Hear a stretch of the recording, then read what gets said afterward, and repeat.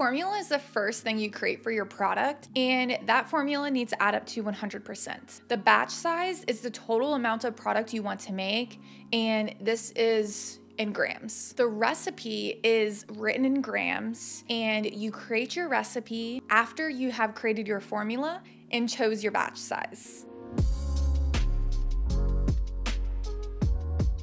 Formula into a recipe can be as easy as just changing all of the percentages to grams, and that would make a 100 gram batch. And it's easy because you don't need to transfer the formula. Just if you have 7% of something, no, you need 7 grams to make a 100 gram batch. Now, let's say you want to make a 700 gram batch of this lotion formula that we created together. You could simply just Google what the percentages would be. So for distilled water, we need 62.4%. So we could literally just Google what is 62.4% of 700 and that would be 436.8. It could be that easy just to figure out how much you need of each ingredient. You would obviously just go through and do that with all of the percentages. But if you want to know how to do the math, I'll explain it to you.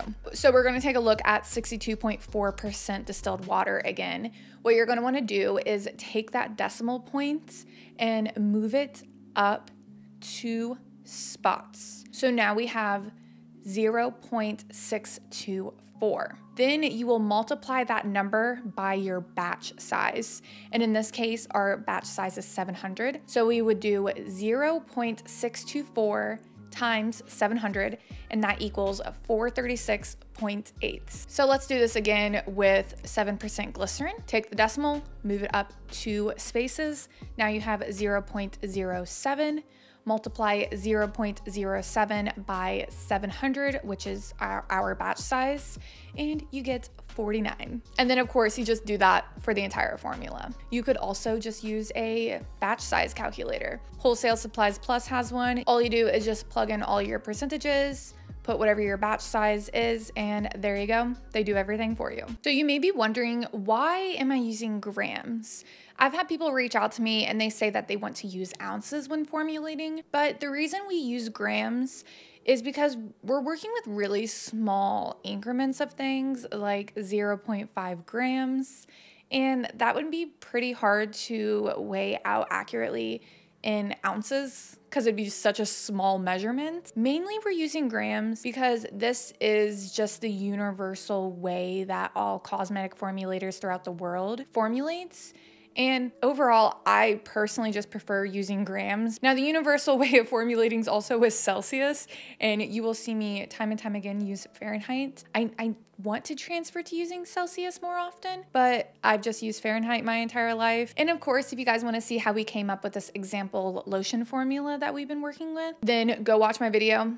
I'll have it linked down below. It's titled something like how to write a lotion formula like the professionals, something like that. So I hope to see you guys in my next video where I show you guys how to make a very simple lotion using this formula that we've been talking about. Don't forget to go over and check me out over on Patreon where I post two bonus videos every single month so there is so much content that you guys can go binge watch over there just for $5 a month. And for $10 a month, you can get a small business shout out. So let's shout out the small businesses.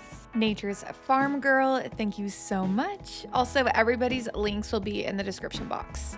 Let's blend. Hempygirl.com, thank you.